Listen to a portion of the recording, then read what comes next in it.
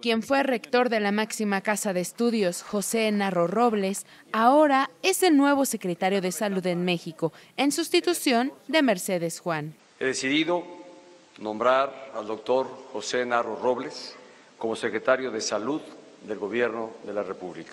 Narro ha ocupado varios cargos en el sector, como la Dirección General de Salud Pública, Director General de Servicios Médicos en la Ciudad de México y Secretario General del Instituto Mexicano del Seguro Social, además de ser asesor de la Organización Mundial de la Salud.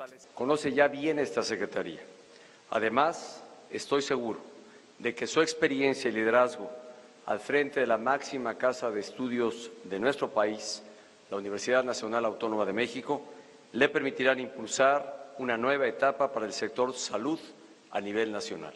Esto sucede por cambios en el gabinete que anunció el presidente de la República, quien además nombró a Miquel Arriola como director del Instituto Mexicano del Seguro Social y a José González Anaya como director de Petróleos Mexicanos. Desde la Ciudad de México para Televisoras Grupo Pacífico, Yesenia Torres.